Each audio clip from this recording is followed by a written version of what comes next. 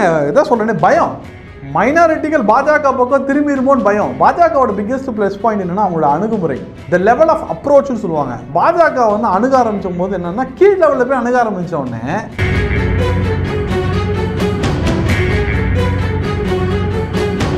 மக்களுக்கும் மைனாரிட்டி மக்களுக்கும் பாஜகவுக்கும் ஒரு நல்ல சுமூகமான ஒரு கனெக்ஷன் ஏற்படுது. இந்த கனெக்ஷன் நாளைக்கு ஓட்டா மாறுமா மாறாதான்றது எலெக்ஷன் சொல்லணும். பட் மாறிடக்கூடாதுன்ற ஒரு விஷயத்துல திமுக அதிமுகவுக்கும் பயந்து இல்லைங்க எப்போவுமே ஒன்றே ஒன்று இது கலைஞர் வந்து அதை பண்ணியிருக்க மாட்டார். என்னன்னா அண்ணாமலை போகிறது என்னன்னா ஆர்கானிக்காக க்ரௌட் வர ஆரம்பிச்சிருச்சு. நூறுக்கு இரநூறுக்கும் வந்து போகிறவங்க கிடையாது. ஆர்கானிக்காக வராங்க. அதாவது ரஜினி கமல்.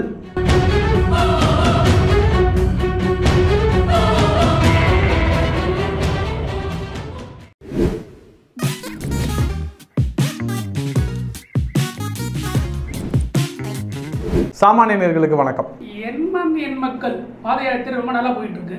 நேற்று ஏதோ ஒரு திடீர்னு ஒரு சம்பவம் நடந்திருக்கு. ஒரு ஊரில் அதை பற்றி உங்களுக்கு ஏதாச்சும் சரி தெரியுமா? அது என்ன நடந்தது? அதை கொண்டு விவரமா சொல்ல முடியுமா அதை பற்றி கண்டிப்பாக சொல்கிறேன் எண்மண் எண் மக்கள் யாத்திரையில் வந்து ரெண்டு திராவிட கட்சிகளுக்கும் வந்து ஒரு அதிர்ச்சிகரமான விஷயம் என்ன அப்படின்னா மைனாரிட்டிகள் தட் இஸ் மைனாரிட்டிகள் சொல்லக்கூடாது இந்தியர்கள் அவங்களும் இந்தியர்கள் தான். அவர்கள் வந்து ரொம்ப எளிதில் அண்ணாமலையை அணுகி பேசக்கூடிய ஒரு விஷயத்தை எல்லோரும் பார்க்குறாங்க. தட் இஸ் நான் வந்து டே ஒன்லேருந்து பார்த்துட்ருக்கேன் பார்த்தீங்கன்னா கிறிஸ்தவர்களாகட்டும் முஸ்லீம்கள் ஆகட்டும் எல்லாருமே அண்ணாமலையை அணுகி வந்து பேசி கொண்டிருக்கிறாங்க. அண்ணாமலை அவர்களும் வந்து ரொம்ப அழகாக ரெஸ்பான்ஸ் பண்ணுறாரு அவங்கள்ட்ட. இன்ஃபேக்ட் வந்து ஒருத்தர் குரான் கொடுத்துருக்காரு பைபிள் கொடுத்துருக்காங்க இவர் சர்ச்சுக்கு போயிருக்காரு சில பாதிரியார்கள் இவரை மீட் பண்ணியிருக்காங்க ரோட்டில் ஜெபம் பண்ணுறவங்க இது பண்ணாங்க இன்ஃபேக்ட் வந்து ஒரு கிறிஸ்டியன் லேடி வந்து பிளஸ் பண்ணாங்க இந்த மாதிரி. அந்த மாதிரி வந்து மைனாரிட்டிகள் வந்து அவர் மேலே வந்து ஒரு அதீத பாசம் வந்து செலுத்துகிறாங்க மைனாரிட்டிகள் மெதுவாக பாஜக பக்கமும் வந்து நகர ஆரம்பிச்சிருக்காங்க அண்ணாமலை தலைமையில். இந்த ஒரு விஷயம் வந்து அதிமுகவும் சரி திமுகவும் சரி அவங்க வயிற்றில் புலியை காத்து காய்ச்சிருக்குன்னு தான் சொல்லலாம். ரொம்ப இம்பார்ட்டண்ட்டான விஷயம். குஜராத்தில் வந்து biggest turning point for Modi வந்து என்னவா இருந்தது அப்படின்னா மைனாரிட்டிகள் வந்து அவரை நம்பி அதுக்கப்புறம் வந்து ஸ்லோவாக அவங்க அவர் பக்கம் மூவ் ஆகி இப்போ மைனாரிட்டிகள் வாக்கும் குஜராத்தில் வந்து மோடிக்கு தான் விழுது. அதே போல் உத்தரப்பிரதேசத்துலையும் இது நடக்குது. இந்தியா முழுக்க ஆங்காங்கே பல பகுதியிலையும் இது நடக்க ஆரம்பிச்சதுனால இப்போ தமிழ்நாட்டில் நடந்த உடனே ரெண்டு திராவிட கட்சிகளும் பயந்துட்டாங்க. ஸோ அண்ணாமலை அவர்களும் நடைப்பயணம் செல்லும் போது பல இடத்துல வந்து இந்த சர்ச்சுக்கும் மசூதிக்கும் போகும்போது நிறைய இடத்துல நல்லா வர இருக்காங்க எல்லாம் பண்ணோடனே அதை தடுக்கும் விதமாக திமுகவை சேர்ந்த ஒரு நபர் நான் டைரெக்டாகவே குற்றச்சாட்டு பண்ணுறேன் அந்த நபரின் பேர் வரும். அந்த நபரோட ஃபோட்டோ வந்து உங்களுக்கு லெஃப்ட் சைடில் வந்து காமிப்பாங்க வீடியோவில் அந்த நபர் என்ன பண்ணுறாரு நீங்கள் வந்து மாதா சிலைக்கு வந்து இது பண்ணக்கூடாது. மரியாதை செலுத்தக்கூடாது அப்படின்னு வந்து சொல்கிறாரு திமுக யார் யார் எங்கே சொல்லணும்னு சொல்கிறதுக்கு என்ன காரணமா இருக்குன்னு நினைக்கிறீங்க? அது மாதிரி பண்றதுக்கு? இல்லைங்க இதான் சொல்கிறேனே பயம். மைனாரிட்டிகள் பாஜக பக்கம் திரும்பிடுமோன்னு பயம். பாஜகவோட பிக்கெஸ்ட் ப்ளஸ் பாயிண்ட் என்னன்னா அவங்களோட அணுகுமுறை. த லெவல் ஆஃப் அப்ரோச்னு சொல்லுவாங்க. பாஜக வந்து அணுக ஆரம்பிச்சும் போது என்னன்னா கீழ் லெவலில் போய் அணுக ஆரம்பிச்ச உடனே இவங்கெல்லாம் பயந்துட்டாங்க. முதல்ல என்னென்ன இருந்ததுன்னா இந்த முஸ்லீம்கள்லாம் வந்து அவங்களுக்கு ஒரு தலைவர் இருப்பாங்க. அவங்க இருப்பாங்க. அவங்க சொல்கிறதெல்லாம் கேட்டுட்டு இருந்தாங்க. இப்போ பாஜக என்ன பண்ணுதுன்னா மூணு லேயர் இருக்குன்னு வச்சுக்கோங்க. பெருந்தலைவர் நடுத்தலைவர் கீழ் லெவல் இருந்ததுன்னா பாஜக என்ன பண்ணா பெரும் லெவல்லையும் நடுவில் இருக்கிற தலைவரையும் பெரு மேலே இருக்கிற தலைவரையும் விட்டுடுறாங்க.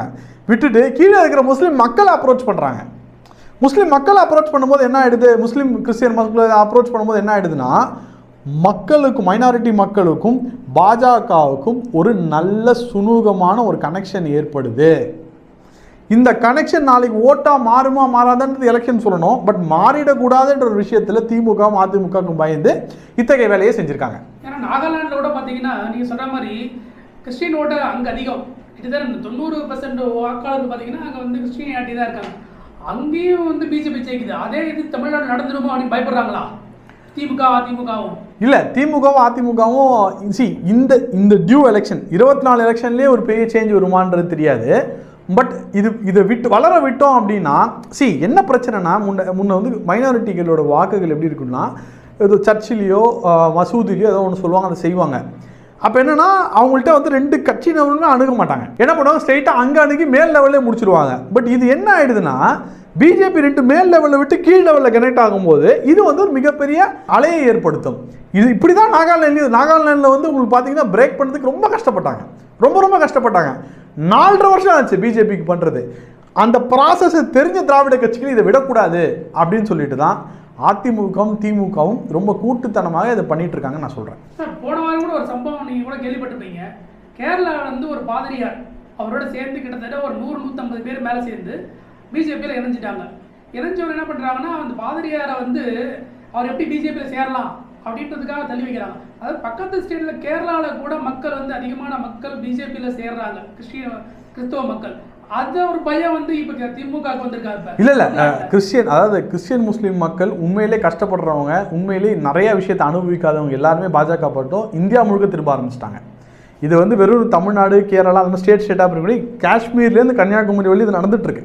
ஆங்காங்கே நடந்துட்டு இருக்கு கன்னியாகுமரியெல்லாம் வந்து பெரிய ஃபோர்ஸே இருக்கு பிஜேபிக்கு இது ஒரு பெரிய வந்து ஒரு புரட்சி ஆயிடக்கூடாது மைனாரிட்டிஸ் மத்தியில். அந்த விஷயத்தை தான் பா- திமுக வந்து பயப்படுதுன்னு நம்ம சொல்லலாம். ரொம்ப முக்கியமான விஷயம் திமுகவோட மிகப்பெரிய ஆயுதமே இந்த மைனாரிட்டி அப்பீஸ்மெண்ட் தான். இந்த மைனாரிட்டி அப்பீஸ்மெண்ட்ற ஆயுதத்தை பாஜக மைனாரிட்டி ஃபுல்ஃபில்மெண்ட்டாக பண்ண ஆரம்பிச்சிருச்சு மைனாரிட்டி ஃபுல்ஃபில்மெண்ட்னா என்னென்னா இப்போ உனக்கு நான் வந்து புகழ மாட்டேன் உனக்கு எக்ஸ்ட்ரா சலுகை தர மாட்டேன். ஆனால் உனக்கு தரமான வாழ்க்கையை அனுபவிச்சு கொடுக்குறேன். உனக்கு தரமான கல்வியை தரேன். உனக்கு தரமான வந்து ரேஷனை தரேன். உனக்கு தரமான வந்து சுகாதாரத்தை தரேன். உன் உன் வீட்டு பெண்கள் வந்து போயிட்டு இருக்க. நம்ம சொல்லாங்க இந்த மாதிரி ஜெய் ஸ்ரீராம் சொல்கிறாங்க அதை சொல்கிறாங்க இதை சொல்கிறாங்கன்னா நீ அல்லாஹ் அக்பர் சொன்னால் நாங்கள் ஜெய் ஸ்ரீராம் சொல்லி தான் ஆகும் அதில் வந்து எந்த மாற்று கருத்தும் கிடையாது. ஆனால் உனக்கு நல்ல வாழ்க்கை தரத்தை உயர்த்தி கொடுக்க நரேந்திர மோடி அரசு பாஜக அரசு துடித்து கொண்டிருக்கிறது. நீங்கள் வந்து ஸ்கீம்ஸ் ஆஃப் தமிழ்நாட்டில் பார்த்தீங்கனாலே முஸ்லீம் பெண்கள் படிப்பதற்கு ஒரு ஸ்கீம் இருக்குது சி இதை நீங்கள் மைனாரிட்டி அப்பீஸ்மெண்ட்டாக கேட்டால் இந்த மைனாரிட்டி அப்பீஸ்மெண்ட் கிடையாது மைனர் மைனாரிட்டி அப்லிஃப்ட்மெண்ட் ஸோ பாஜகவோட ஒரே விஷயம் என்னன்னா there is no appeasement for anyone there is only upliftment for everyone அதனால தான் பார்த்தீங்கன்னா உலக அளவில் அதிகமான மைனாரிட்டி நம்ம இப்போ சொல்லியிருக்க மைனாரிட்டி மைனாரிட்டி சொல்லிட்டு இருக்காங்க. ஆனால் முஸ்லீம் மக்கள் அதிகமாக வாழக்கூடிய ஒரு நாடுன்னு எடுத்தா அது வந்து இந்தியாவாக தான் இருக்கு. இல்லை முஸ்லீம் முஸ்லீம் மக்கள் வாழற நாடு மட்டும் கிடையாது முஸ்லீம் மக்கள் தரமாக வாழும் நாடு. வாழறது ஈஸி யார் வேணா எங்கே வேணா போய் வாழலாம். தரமான வாழ்க்கையை அனுபவிச்சு கொடுக்குறது இந்தியா மட்டும்தான். இந்தியாவில் மட்டும்தான் அவங்களுக்கு இவ்வளோ பெரிய பீஸ் இருக்குது அதுவும் ரெண்டாயிரத்தி பதினாலில் மோடி அவர்கள் வந்ததுக்கு பிறகு தான் இது நடக்குது. சிஏ வைத்து அரசியல் செய்து கொண்டிருக்கிறார்கள். ஆக்சுவலாக அந்த இடத்துல என்ன நடந்தது அப்போ? அண்ணாமலை அவர்கள் வந்து இல்லை. ஆமாம் அண்ணாமலை அவர்கள் நான் பேசணும் இல்லையோ அண்ணாமலை அவர்கள் அவரோட நடைப்பயணத்தை ஆரம்பிக்கிறதுக்கு முன்னாடி அந்த கோயிலுக்கு போகிறாரு he has got some invite அந்த கோயிலுக்கு போகிறதுக்குள்ள ஒரு இன்வைட் இருக்குது. அதாவது கிறிஸ்துவ மக்கள் இன்வைட் பண்ணியிருக்காங்க. அதனால நடைப்பயணத்துல எனக்கு தெரிஞ்சு எல்லா ஊர்ல இருக்க எல்லா கோயிலுக்கும் போறாரு சர்ச்சுக்கும் போறாரு. ஆனா பர்டிகுலரா அந்த ஒரு இடத்துலயே அது மாதிரி ஒரு டிஸ்டர்பன்ஸ் பண்றாங்க. இல்லை அது வந்து என்னன்னா திமுக சி இது என்னன்னாங்க சில ஆர்வ கோளாறுகள் கட்சியில் இருக்கும். எல்லா கட்சியிலும் ஆர்வ கோளாறுன்னு ஒரு கேங் இருக்குது இந்த ஆர்வ கோளாறு கேங் வந்து இந்த மாதிரி வேலையெல்லாம் செய்யும். இது ஆர்வ கோளாறுகள் செய்த வேலை.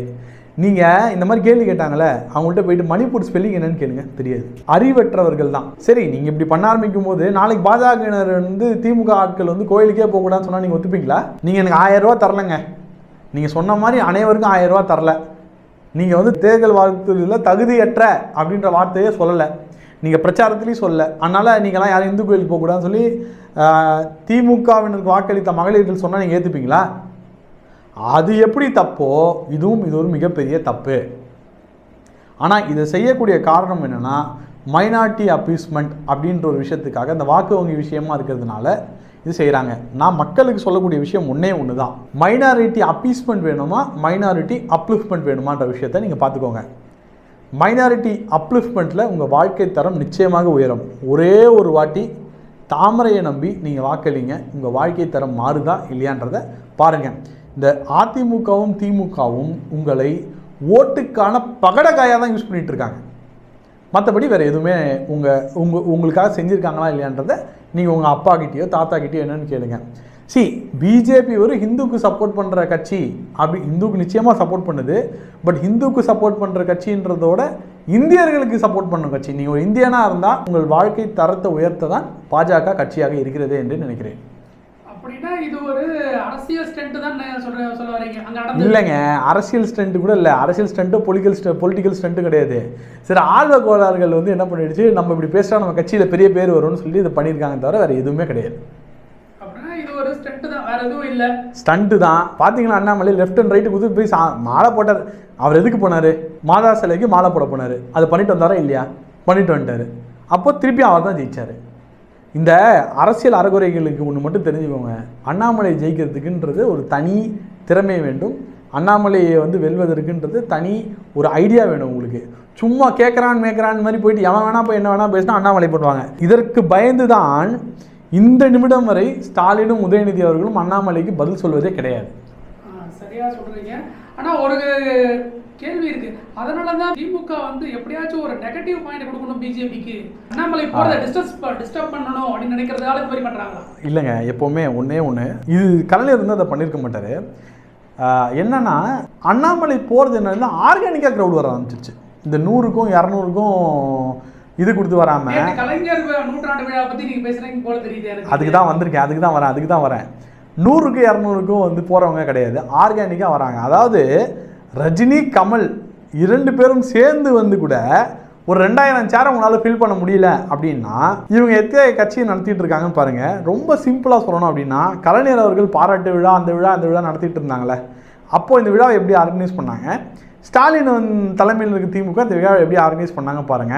அதிலே யார் ஆளுமை யார் ஆளுமையற்றவர்ன்றது உங்களுக்கு தெரிஞ்சிடும் அப்புறம் அந்த வீ அந்த ஒரு செய்தியை மரப்படிக்கிறதுக்காக இந்த மாதிரி ஒரு விஷயத்தை ஏற்படுத்தி விடுறாங்களா? இதை ஒரு கண்டென்ட்டா ரெடி பண்ணி திமுகவினர் பார்க்கறாங்களா? திமுகவினருக்கு இதெல்லாம் கை வந்த கதைங்க அந்த மாதிரி வேலையெல்லாம் பண்ணுவாங்க. ஆனால் நான் சொல்வது ஒன்றே ஒன்று தான் திமுக என்ன நினைக்குதுன்னா பாஜகவுக்கும் மைனாரிட்டிகளுக்கும் இந்த கேப் அப்படியே மெயின்டைன் பண்ணணும்னு நினைக்குது. ஆனால் அண்ணாமலை அவர்கள் குறிப்பாக பாஜகவினருக்கும் மைனாரிட்டிக்கும் இந்த கேப்பை கொஞ்சம் கொஞ்சம் கொஞ்சம் கொஞ்சம் கொஞ்சமாக வந்து குறைச்சிக்கிட்டே வரார் அப்படின்றது தான் நிதர்சனமான உண்மை. நன்றி வணக்கம்.